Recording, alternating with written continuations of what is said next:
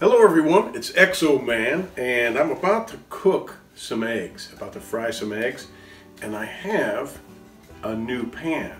This is absolutely not a sponsored video. This is a pan I just happened to pick up in the store yesterday and I wanted to try it out because one of my pans, my fry pans is getting old. It's, uh, it's this kind of non-stick pan and I don't want it to leak anything and, and it cause any health risk. But this thing that I wanted to try is uh, it's called the Rock. It's a Starfrit brand, I guess, uh, or Rock Tech. I'm not sure, but they've made some pretty amazing claims. They're saying that this has uh, three times the release, meaning it's three times less likely to stick than traditional uh, non-stick pans, three times the release power or whatever, how do they word it? They say, our patented manufacturing process modifies the surface to form an ultra-durable rock-like finish. The result is an outstanding release performance three times better than the traditional non-stick cookware. So I'm going to see if that is in fact true and uh, I'm, gonna, I'm, first going to wash the pan of course, uh, get, the, get the packaging off of here and we'll do some cooking with it and see about that, all right? By the way, I have no idea what these plastic clips are for that are on the edge, the rim of this pan. I don't, what the heck is that? Maybe it was for holding the, the packaging in place. I don't know. I'm not sure about that. Maybe someone can tell me. And, and by the way, this pan is rated for 350 degrees. It's supposedly oven safe up to that heat, which is interesting. And uh, here is my old pan. I've been very, very happy with this. It's called, uh, what is it, Tramontina. Tramontina. It's a uh, porcelain enamel product and you can see that it kind of burned right there and I don't know if that's burned through that coating or, or what but I don't want to scrub it so hard to get it off because that would just take the, the uh, coating off, I'm afraid. But anyway, it's an 8-inch pan, whereas this is a 9.5 inch pan. And great little saute pans, but I use these for eggs, fried eggs. And I'm, I think I like the size of this better because the eggs will spread more and cook more quickly because of the surface area being cooked. These, they kind of fill up the pan and so it's a little bit thicker to cook.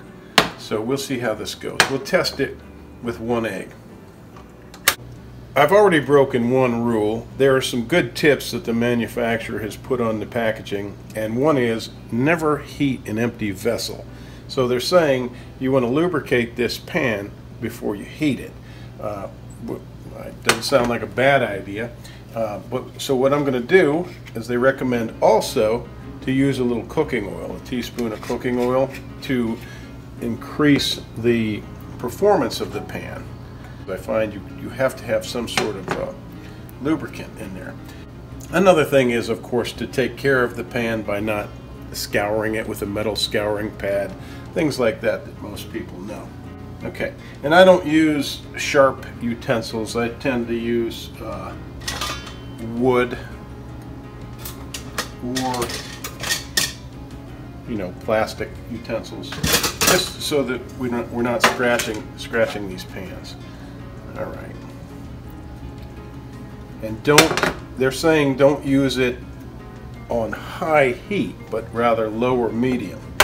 Well, let's put one egg in. Oh, oh this is going to be problematic. Look at that. Isn't that an interesting break? Well, now my oil just sort of scattered. It didn't stay in one place. Uh, so we'll see how that works underneath the egg here. I've got my heat trimmed down.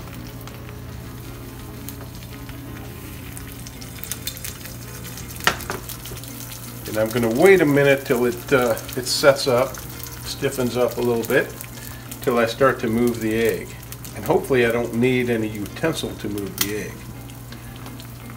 Typically in this pan, I will spray it with a little cooking spray and that keeps a nice even coat of lubricant and I'm able to move the egg around and then flip it. with this their recommended uh, cooking oil.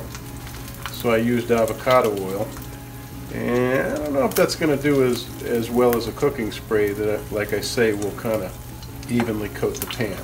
All right, so I'm not getting any movement. My egg is not moving. So right away I'm going to need to employ a little help here to release this. So be it. Let's see if it's moving now. Okay, there we go. There we go. We just had a little, a little tiny area where it, it wanted to stick. Now so far that looks really good. That, that's how a non-stick pan should perform. Get a little bit of something right there. Not sure what, why that's adhering. Let's go ahead and try to flip it. Oh, there we go. Easy enough. I let it cook a little longer than I would normally. Uh, take it off the heat. Let's put, let's put that on the plate. Now it seems to want to stick. Okay. Yep, yep, it's stuck. Now see, and that caused the egg to burst when I tried to move it. I've still got an over easy egg, but I don't like that it's stuck. Let's give it another try. Let's just wipe it out. Make sure there's no material stuck to it. Okay. Now to be fair, let me try what I usually do, which is a little non-stick spray, or cooking spray.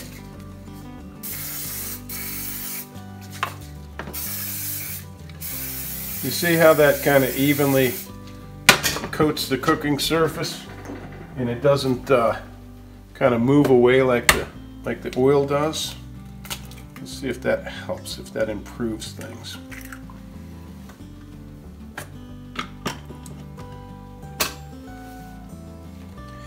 Now I have a little boudin sausage waiting in the wings to eat with my eggs, so that will be that will be very nice. Now this did not break on the flip. It broke when I started moving it on the yolk surface.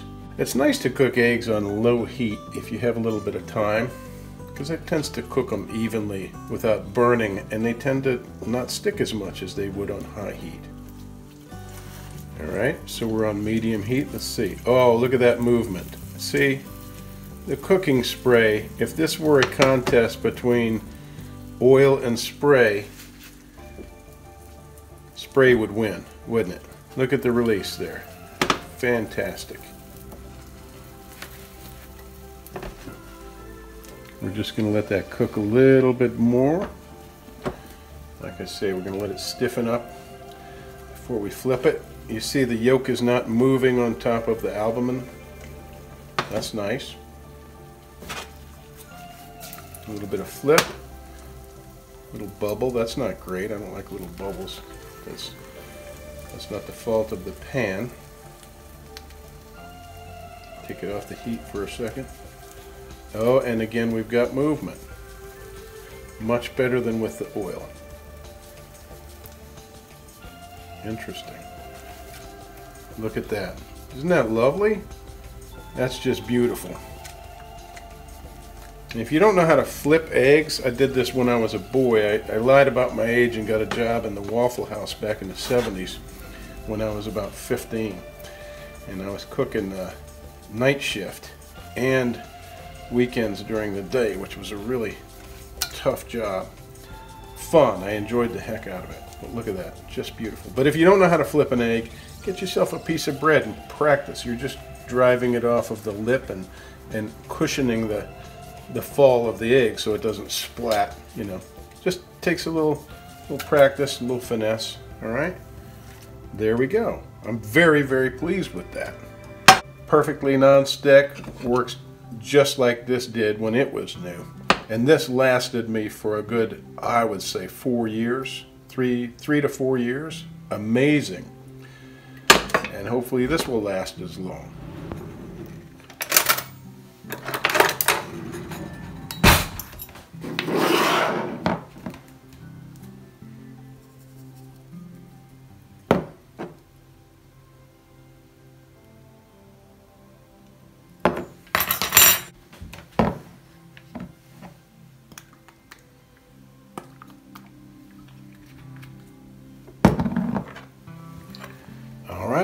Let's see what we've got here.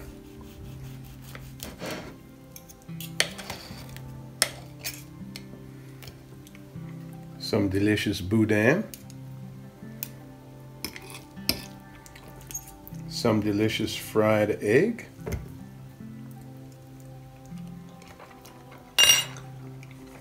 Mmm.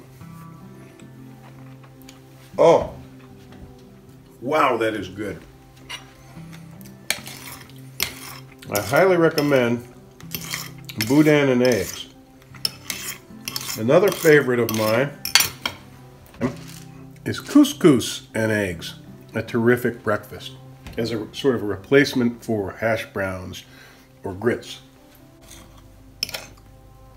Boudin is a Cajun rice sausage.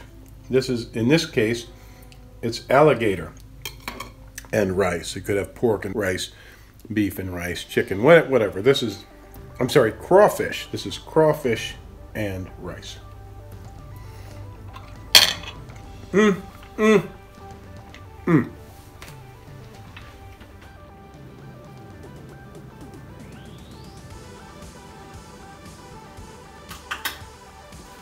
All right, well, that's it.